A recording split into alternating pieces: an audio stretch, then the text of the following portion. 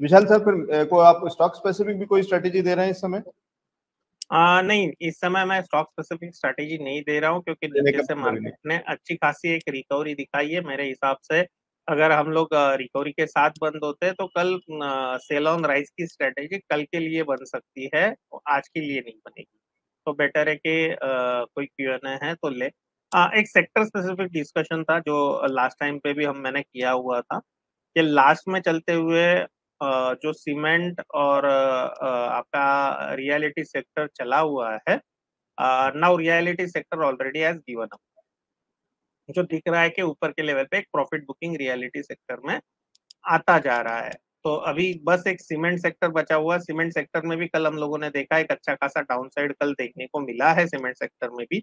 आज थोड़ा बहुत रिकवरी है, लेकिन ये रिकवरी अगर फिजल आउट हो जाती है by end of the day और by tomorrow then my view much more side confirm हो जाएगा क्योंकि अभी तक हम लोगों ने ये चीज़ें कंटिन्यूसली मार्केट में होती हुई देखी है कि नॉर्मली uh, ये sector end of the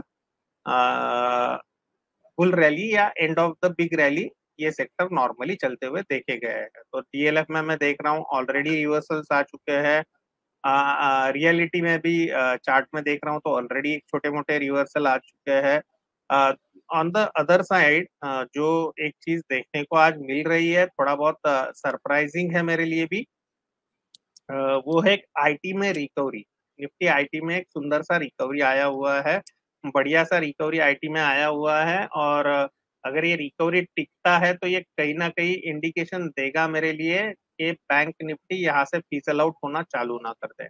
तो बैंक निफ्टी ने आज का जो लो बनाया है, वो ध्यान से देखने लायक होगा। वहाँ से मेरे हिसाब से 500 पॉइंट का रिकवरी बैंक निफ्टी में आ चुका है।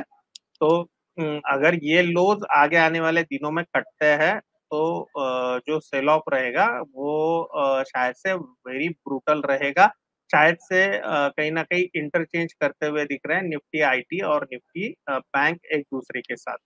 तो ये थोड़ा सा एक डेंजरस पार्ट रहेगा अगर होता है तो। तो डाउन साइड में बैंकिंग स्टॉक लीड कर सकते हैं। अगर आ, हम लोग बैंकिंग में अगर आज का लो कट हो जाता है आगे आने वाले दो तीन दिनों में जो है चालीस हज़ार तीन सौ साठ रुपया। तो ये कह रहे हैं विशाल सर कि precaution is better than cure सावधानी रखें। बाद में पछताने से बेहतर है कि सावधानी के साथ में, और इस समय सावधानी कैसे करनी है वो भी उन्होंने बहुत क्लियरली बता दिया, और सब तरीके के लोगों के लिए आपको खुद पता होगा कि आपका पोर्टफोलियो कैसा दिख रहा है। ओवरऑल कहीं ना कहीं वो डैश पे आपके दिखा रहा होगा कि कितना परसेंट हरा, कितना परसेंट लाल, और कितने स्टॉक्स हैं, और वो कितने, उसमें से कितने हरे में और कितने लाल में तो उसके सारे एक स्ट्रेटेजी पूरी बता दी सबके लिए बढ़िया तरीके से। ठीक है। तो और बहुत ही ऑब्वियस है कि विशाल सर फिर आप कुछ खरीदारी तो इस समय कराएँगे नहीं? वैसे भी मैं पिछले दो वीक से कोई खरीदारी करा ही नहीं रहा हूँ सर हाँ वो मेरे मेरे लिए एक एक वो संकट ये वाला था कि वो सवाल कुछ एक ये वाले ही थे कि जैसे एक सवाल था कि best stock for short term तो एक वो है या एक और करणदीप भल्ला जी का सवाल था कि बेटर अपॉर्चुनिटी के लिए दो स्टॉक्स बताएँ तो लेकिन विशाल सर कोई दो स्टॉक्स अभी भी बता सकते हैं या नहीं बताने हैं? बिल्कुल भी। मेरे हिसाब से ये लेवल अवॉइड करने लायक लेवल है, लेकिन होटल इंडस्ट्री में कुछ स्टॉक अच्छा परफॉर्म करते हुए दिख रहे हैं। तो आपको अगर वो इंडस्ट्री में आप कंसंट्रेट करें तो मैं अभी कोई नाम कोट नहीं करना चाहूँगा, लेकिन दैट इज़ अ एरिया के जहाँ पे अभी भी अच्छा खासा अपसाइड देखा जा रहा है। ठीक है तो ये है राय, और क्योंकि विशाल सर अभी हमारे साथ में जब पूरा एनालिसिस जो इतनी देर से दे रहे हैं उसमें बहुत डिटेल में वो बता रहे हैं कि क्यों एक डाउन साइड एक्सपेक्टेड है तो ये छोटा मोटा हो सकता है कि वो कोई स्टॉक बताएँ और वो बढ़ भी जाए, लेकिन ओवरऑल थोड़ा सा भी समय और कभी भी रिस्क और जिस तरीके का है, उसके चलते इस समय बहुत समझदारी नहीं होगी तो थोड़े से मतलब रिस्क ज़्यादा है कह लीजिए और रिवॉर्ड शायद मिलेगा, नहीं मिलेगा, मालूम नहीं तो वो वाली चीज़ें हैं तो इसलिए बेहतर ये होगा कि नई खरीदारी अवॉइड करनी है या जो है ऑलरेडी खरीदारी, उसमें क्या करना है?